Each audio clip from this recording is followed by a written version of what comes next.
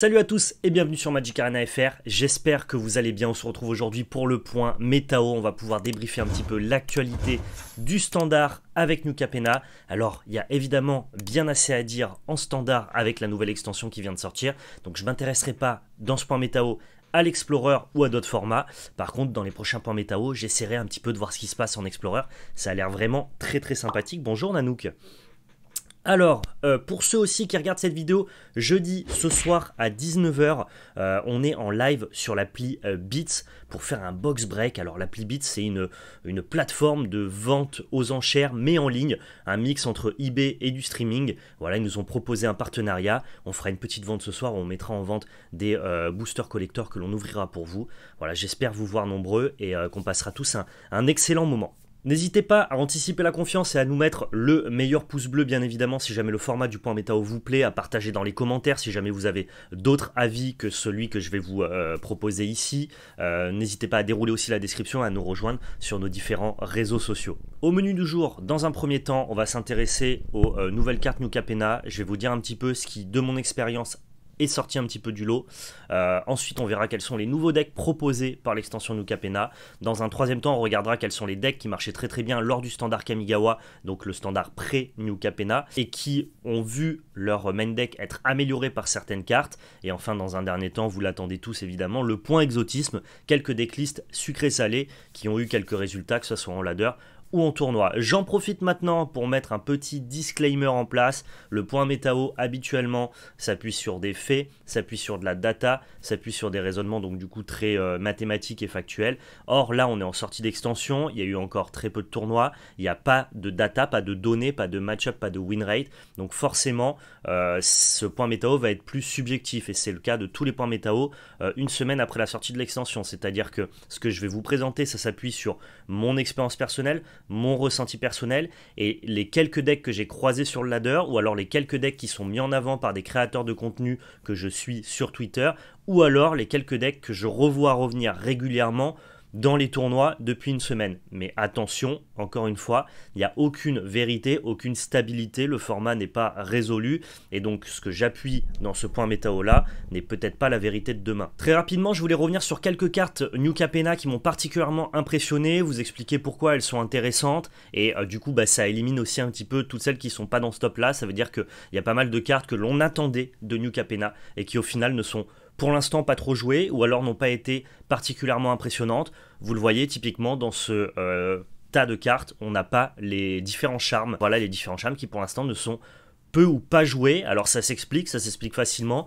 Le, la tricolorité, le fait de devoir payer trois manas de couleurs différentes, et eh ben c'est pas facile.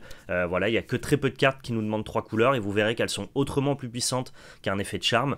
Il y a aussi le fait que Omnixilis est très présent dans le format et qu'il impose vraiment des small games avec euh, des, des, stratégies très low ressources et que du coup bah forcément quand on joue contre ce type de deck là, et eh ben on a beaucoup de mal à dépenser trois manas colorés euh, pour avoir un effet d'interaction classique, et donc on préférera une carte comme Garroté par exemple, qui elle ne coûte qu'un seul mana et va globalement faire le même effet qu'un charme, c'est-à-dire tuer une créature ou tuer un Planeswalker. Donc pour l'instant, le format il en est là. Ça veut pas dire que les charmes sont pas jouables, ça veut pas dire qu'ils seront pas joués. Moi je pense qu'ils sont quand même très très forts et on commence à en voir arriver quelques-uns. Donc Garroté, première carte, je vous l'ai dit, euh, Obdixilis impose des small games, du, vraiment du low ressource. On a vraiment besoin de ces petites interactions là euh, pour pouvoir aller gérer les petites créatures ou les euh, euh ou les Planeswalkers de notre adversaire et Garoté s'est révélé vraiment être très performant. Deuxième carte qui m'a pas mal impressionné, c'est Gada, la fontaine de l'espoir.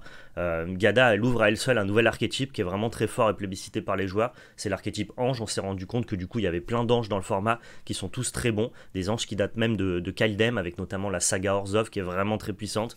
Et donc voilà, Gada, elle fait le pont en fait entre euh, le début de partie et le mid-game où tu vas pouvoir caster, commencer à caster de gros anges parce qu'elle accélère ces anges-là et en plus, elle leur donne un petit peu plus de, patates. Donc vraiment, Gada, euh, excellente carte.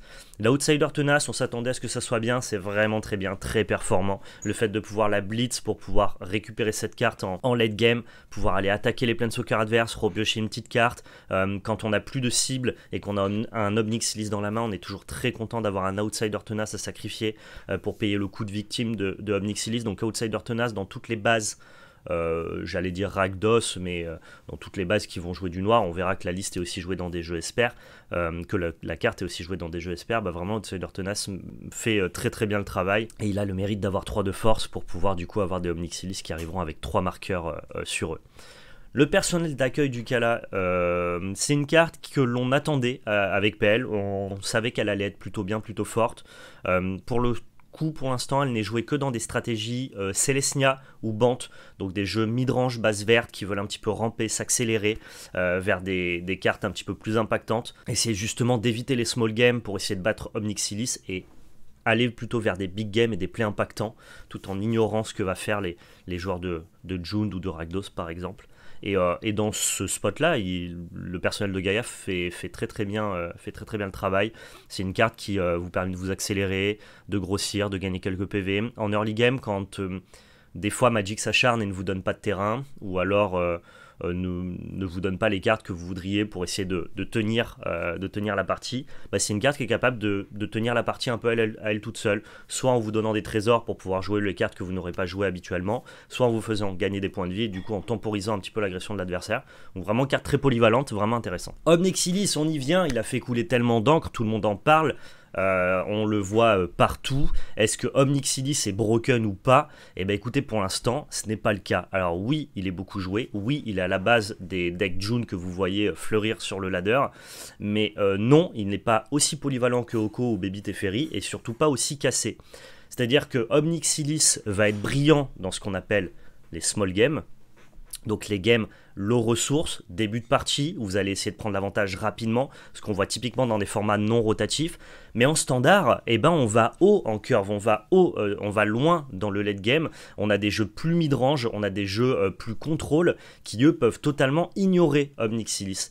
Donc voilà, Omnixilis, il est très très bien dans les mirrors d'Omnixilis, dans, ce qu'on appelle bah, du coup les small games, avec du coup euh, de la gestion de ressources fines. Mais en fait, il y a plein de jeux qui vont juste ignorer ce que fait Omnixilis. C'est le cas des jeux Celestia par exemple. On verra le jeu bande que je vous présentais tout à l'heure, qui va juste s'accélérer dans des cartes beaucoup plus puissantes qui vont ou ignorer Omnixilis ou aller taper dedans. Et, euh, et donc du coup, voilà, c'est une carte qui est forte dans un certain type de match-up et dans un certain hum, type de jeu. Euh, mais au final qui est pas du tout euh, pas du tout pété et qui reste cantonné quand même à ce, à ce type-là. Et c'est une stratégie qu'on arrive assez facilement à outpower.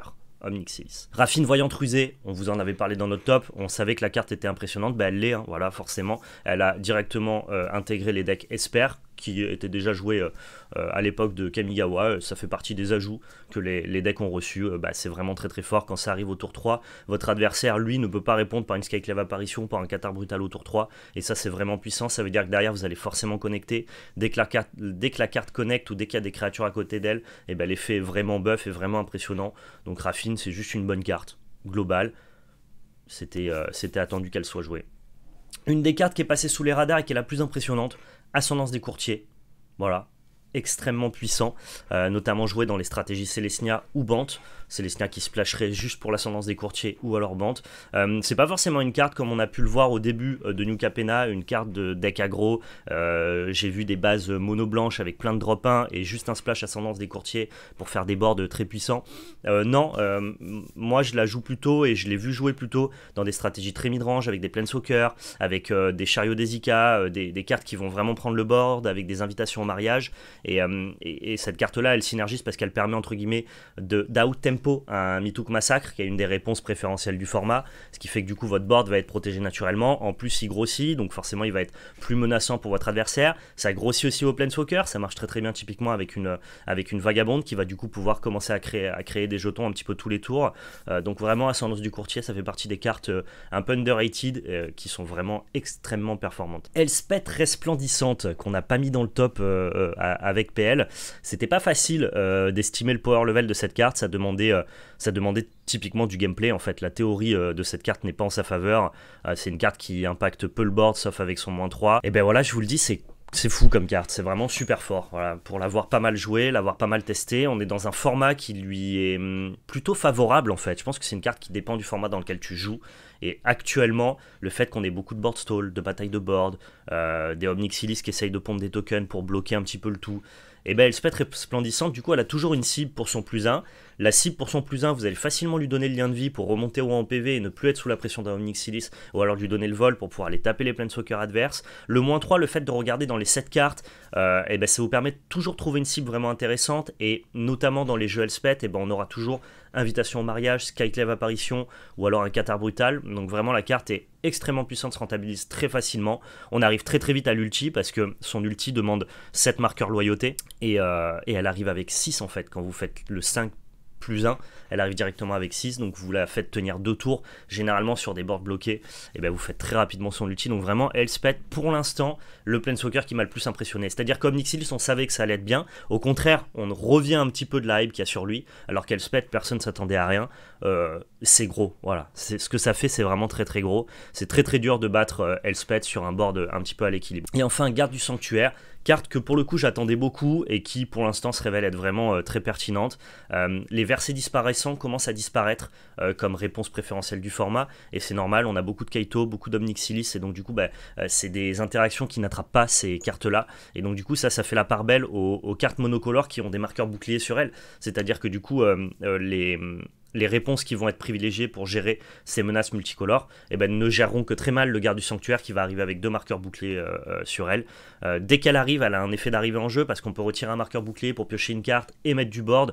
C'est vraiment très très puissant. Dès qu'elle attaque, pareil, vous allez continuer à piocher une carte, remettre du board. Les stats sont bonnes, c'est une 5-5 vol pour 6. c'est vraiment ce qu'on appelle une mythique écrasante. Et encore une fois, quand vous êtes un peu derrière sur le board ou alors un board à l'équilibre, eh ben cette carte-là, dès qu'elle arrive, elle elle change un petit peu la physionomie, la dynamique de la game. Et si votre adversaire n'a pas la réponse, bah, ça plie très rapidement les parties. Donc c'est 6 mana très bien investi dans une euh, garde du sanctuaire. Voilà, il y a plein d'autres cartes qui commencent à être jouées, sur lesquelles on a un œil attentif. Je pense notamment au Titan de l'industrie, qui commence vraiment à être pas trop mal joué, notamment pour essayer d'avoir une partie big game dans les Mirrors d'Obnixilis.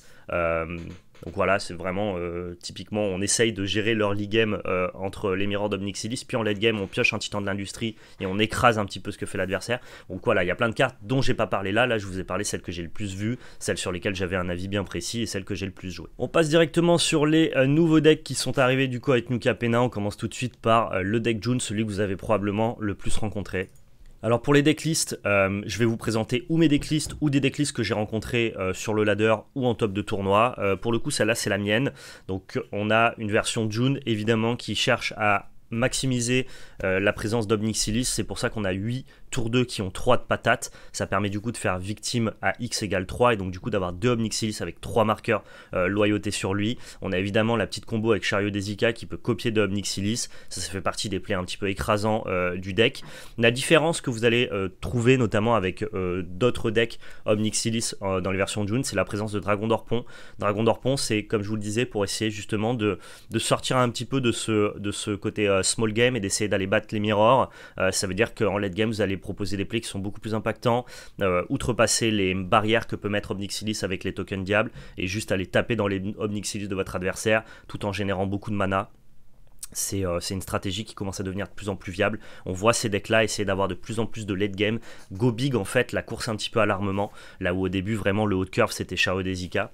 Euh, à côté de ça, on a les interactions dont je vous parlais, garrotées, parce que eh ben, vraiment, les Mirrors d'Omnixilis, même si on a ce qu'on appelle des big spells pour essayer d'aller dans des games un petit peu plus late game et écraser ce que fait Omnixilis, bah faut quand même au début être capable de gérer le Omnixilis de l'adversaire et rentrer dans ce petit jeu, cette small game qu'impose la carte. Et donc, du coup, on a des garrotés qui marchent très très bien.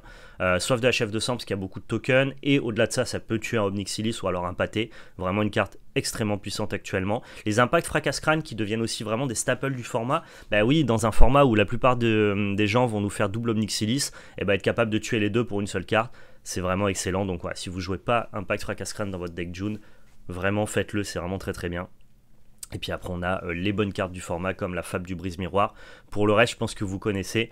Euh, on va pas rentrer spécialement dans les spécificités du side. Si jamais vous avez des questions, n'hésitez pas à les poser dans les commentaires et je prendrai le temps, d'y répondre.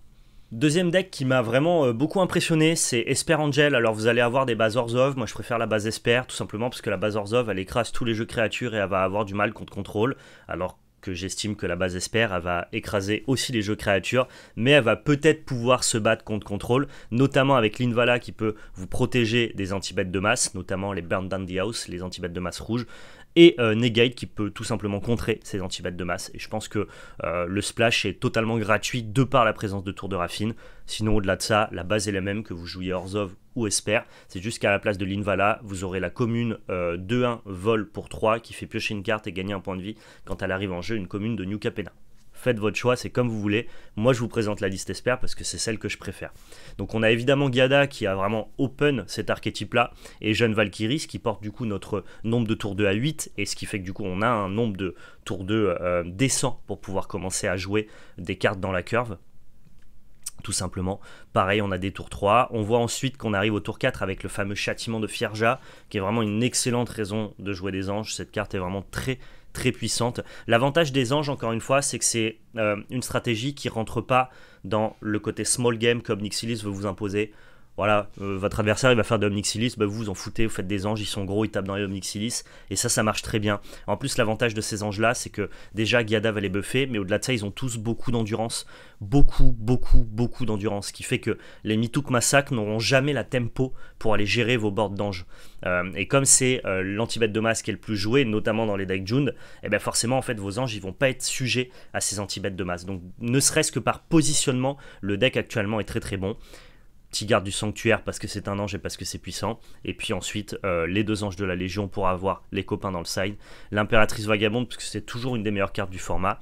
Et les versets disparaissants, qui même si, ce ne sont plus les réponses préférentielles du format à cause de Kaito et d'Obnixilis, ça va juste tuer, dépater ou des bloqueurs adverses.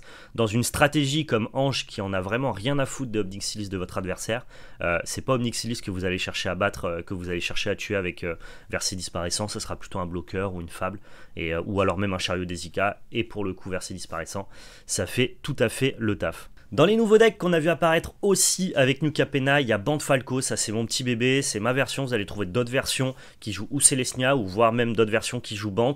Euh, moi je vous propose Serratio c'est probablement le deck que j'ai le plus joué, avec lequel j'ai le meilleur win rate. Euh, c'est un deck encore une fois qui va éviter les small games et vraiment euh, proposer des plays impactants et donc du coup un petit peu ignorer ce que peut faire Omnixilis.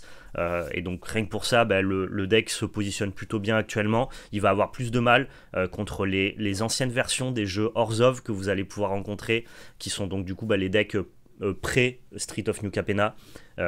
typiquement des decks de standard Kamigawa avec beaucoup d'antibêtes de masse. Là, le deck va probablement avoir un peu plus de mal.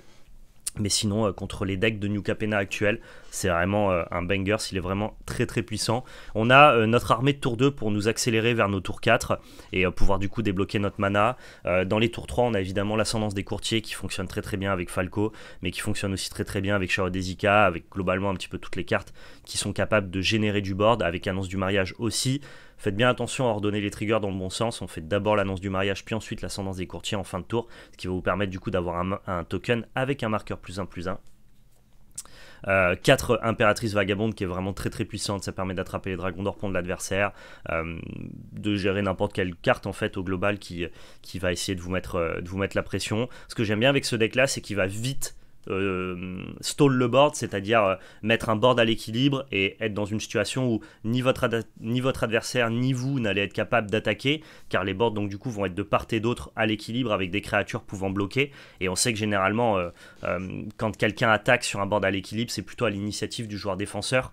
en tout cas, c'est plutôt le joueur défenseur qui aura l'avantage. Et ce que j'aime bien, c'est que dans cette dynamique de bloquer le board, derrière, on est vraiment capable de de le débloquer à notre guise, notamment grâce à des appels d'Emeria qui vont nous permettre bah, d'attaquer euh, en indestructible tout en mettant des menaces volantes. Et puis ensuite avec Elspeth, parce que Elspeth sur board bloqué, bah déjà ça veut dire que votre Elspeth elle va vivre, elle va pouvoir faire sa value tous les tours. Et en plus de ça, sur board bloqué, vous allez typiquement faire voler un chariot d'Ezika qui va commencer à copier euh, un token d'annonce du mariage. Et là, vous êtes en train de prendre l'ascendant sur la partie instantanément. C'est la plupart des games que j'ai pu remporter, elles se, elles solutionnaient comme ça. Et, le deck le fait très bien. La base de mana est quali parce qu'on a le quartier euh, général de Spara.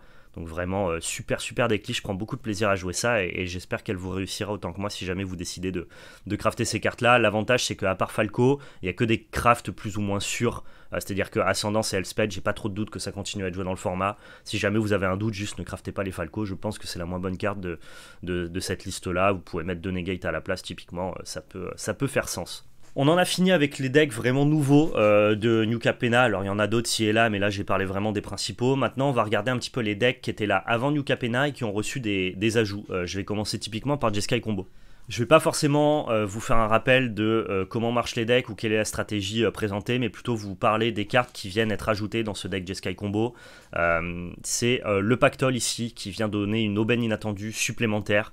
ça permet bah, typiquement à la fin du tour 4 d'avoir deux trésors en vous défonçant d'une carte et en piochant deux cartes, ce qui fait que si jamais vous trouvez un dragon d'orpon au tour 5, vous pouvez commencer à faire des choses un petit peu idiotes. Dès que vous avez deux trésors à sacrifier et un dragon d'orpon, vous pouvez juste enchaîner les aubaines inattendues les pactoles. Alors si en plus vous avez lire sur le champ de bataille, bah, vous partez en combo et vous gagnez instantanément la partie. Donc on a juste rajouté en fait une pièce de combo, une, espèce de pièce de transition entre l'early game et la partie combo du, euh, du, Jeskai. Donc euh, forcément bah, ce deck là laissant délecter. Je rencontre quelques-uns quand même sur le ladder et ça reste toujours très puissant pour ceux qui aiment cette stratégie là, euh, vraiment toujours très très efficace.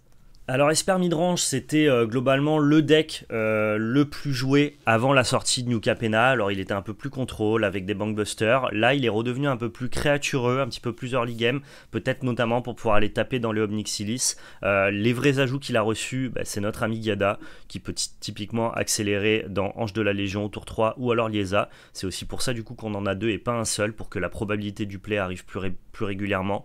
Dans tous les cas, ça reste une 2-2 vol vigilance pour 2 qui peut aussi aller mettre la pression dans des planeswalkers adverses, et pour ça la carte est plutôt bien. On a toujours les mêmes pièces d'interaction avec les contraintes, les euh, massacres au de boucher ou alors les versets disparaissants, avec la petite néguette et l'emprise infernale. Ça, c'est une decklist de tournoi. Vous voyez qu'il y a des ratios quand même un petit peu. Euh, un petit peu je pense que ça a été travaillé, ou alors que c'était de la decklist euh, open. Si jamais vous jouez sur le ladder, vous pouvez un petit peu rehausser vos ratios, bien évidemment. On a les petits Kaito et l'annonce du mariage avec la vagabonde, qui était un petit peu le, le nerf de la guerre du standard précédent pour le coup. Et on a évidemment un peu plus de créatures pour faire fonctionner Raffine, qui est la carte la plus impressionnante dans la tricolorité Esper. Encore une fois, vous avez vu qu'on ne joue ni le charme, ni euh, le spell incontrable, qui permet de, de, détruire un permanent dans le main deck parce que euh, bah, le triple coloré de l'interaction euh, et, les trois manas nécessaires, enfin en tout cas demandés, sont peut-être un peu chers par rapport à ce que le standard euh, propose actuellement. Ça ne veut pas dire que ces cartes-là seront pas jouées à terme, mais pour l'instant en tout cas elles ne sont pas forcément préférées à ce qu'on voit actuellement. Et enfin, euh, Ragdos Anvil, un deck encore une fois qui a existé avec la sortie de Kamigawa et donc du coup avant euh, Street of New Capena, euh, qui a gagné tout simplement Nixilis, l'adversaire, qui s'intègre naturellement dans les stratégies Anvil. Ça reste des stratégies qui me paraissent un petit peu faibles actuellement. Ce sera probablement bien meilleur en pionnière, voire en moderne, ou alors peut-être en explorer, mais en tout cas actuellement en standard que ça propose, ça se fait assez facilement écraser par les, vraiment les big plays, les, spells impactants du, format. Et en plus, c'est une stratégie qui bénéficie de massacre au croc de boucher, mais surtout qui meurt sur les massacres au croc de boucher de l'adversaire. Et c'est une carte qui est extrêmement jouée, que ce soit dans les versions June ou dans les versions Esper.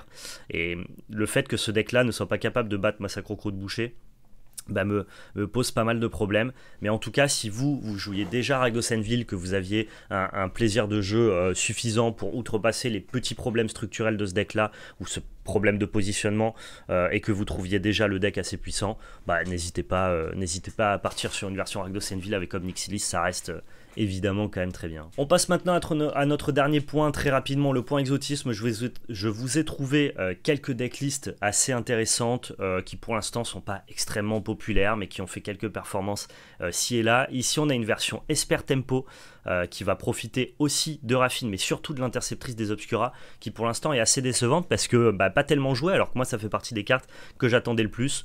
Donc voilà, on va essayer de jouer des créatures rapidement dans la partie, notamment Vandal Ferry et Hermite euh, Maléfique, tout en curvant derrière Kaito ou Raffine, et en bloquant la partie avec Interceptrice, ou alors un Charme des Obscura, pas mal d'interactions. Je sais pas trop ce que vaut ce deck là, je l'ai pas testé, mais en tout cas je l'ai vu revenir euh, euh, plusieurs fois, en tout cas des versions tempo avec quelques ajustements ci et là.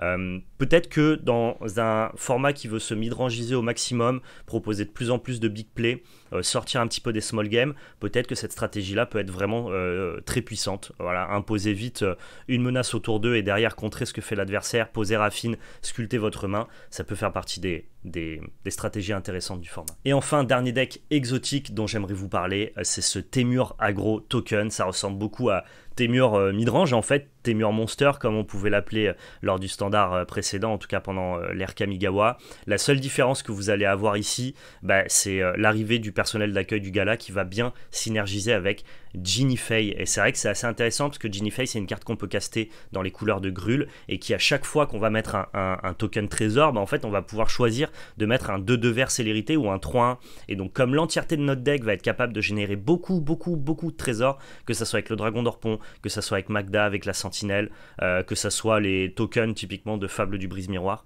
euh, ou alors même les Shao Dezuka qui peuvent avoir des 2-2 euh, chats célérité. Et bah, Ginny Fay, c'est vrai que ça s'intègre naturellement bien dans cette liste là. J'ai trouvé ça assez, assez sexy, assez rigolo. Est-ce que dans les faits c'est puissant? Je pense que ça demande aussi un petit peu de, pratique pour, pour s'en rendre compte. Mais Ginny Fay fait partie euh, des cartes que j'aurais pu mettre dans mon premier point dans les staples parce que le peu de fois où j'ai vu jouer la carte en ladder, elle a toujours été très impressionnante. Je pense que c'est juste le deck dans lequel elle va vraiment s'épanouir qui n'a pas encore été trouvé. Mais ça fait partie des cartes qui m'ont vraiment pour le coup pas mal impressionné. Voilà, c'est la fin de ce point météo. Merci à tous de l'avoir suivi. Si ça vous a plu, évidemment, vous n'hésitez pas à, mettre le pouce bleu. Rejoignez-nous du coup à 19h euh, sur Beats pour la vente aux enchères et le box break euh, euh, d'une boîte de booster collector New Capena. merci à tous d'avoir suivi ce point météo. On se retrouve la semaine prochaine pour débriefer un petit peu ce qui se passe en standard et en explorer. Et surtout, n'oubliez pas, c'était de la belle magie.